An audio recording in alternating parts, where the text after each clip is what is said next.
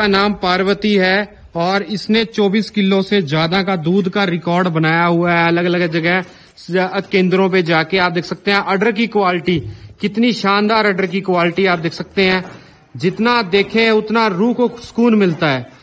किसान ने इसको तैयार